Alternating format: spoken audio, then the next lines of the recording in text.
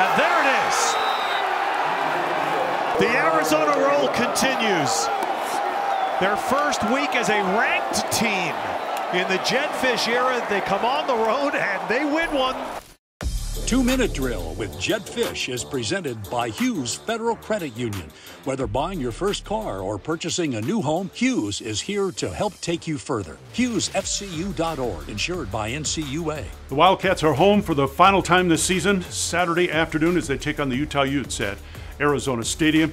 Wildcats riding a four game winning streak thanks to a great win up in Boulder over the weekend. Coach, you're, you're on the road. It's a great environment. Last home game for Colorado. They play. They're playing great. Uh, your team has field position challenges. The crowd. You don't lead until the clock hits zero, and you win the game. How satisfying is that for a program? Yeah, I think it was all that that you just described. It was a, a great environment.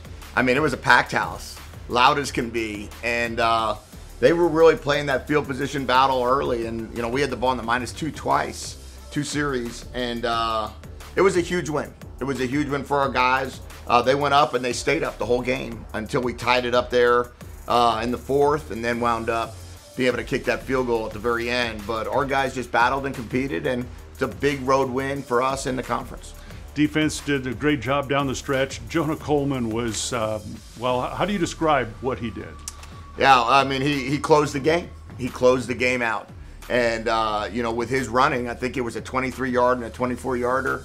Um, there was just some explosive plays throughout the, the whole game. Um, and, and the one two punch with DJ and Jonah in this game. I think DJ had two touchdown runs. And, uh, it's just, it's fun to watch those guys. And it's fun to watch Jonah run, man. He runs hard and uh, with a lot of passion. Um, I love your math skills because that final minute came down and you knew timeouts, situation, exactly how to play it. How quickly did you calculate that, or, or, is that something that over your experience you've seen before? Well, you have to kind of, you know, you have a little bit of a chart that tells you what you need to do with one if the other team has one timeout and, and how much time you could run out. So when we knew that all we had to do was, you know, with a minute 31 or wherever it was on the clock, we knew that you know we could we could control the game. We didn't have to give the ball back.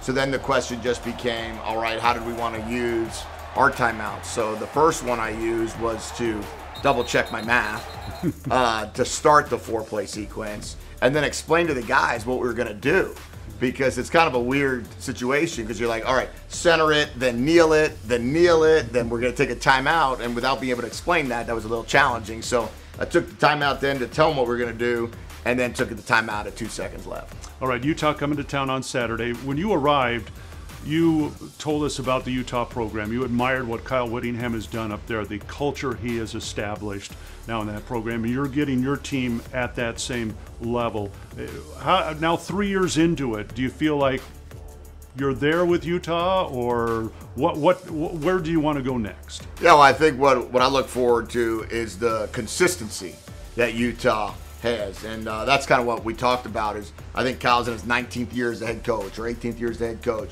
He was there as a coordinator before that.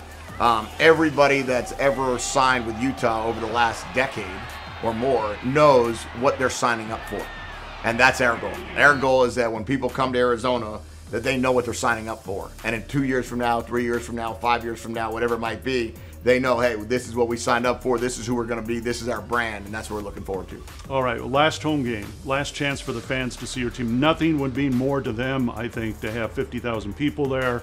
Uh, to send them off to the final game of the season, of the regular season, and then another game after that. Yeah, well, it's senior day, number one. So, how about some of the kids that have uh, gone through the whole gamut?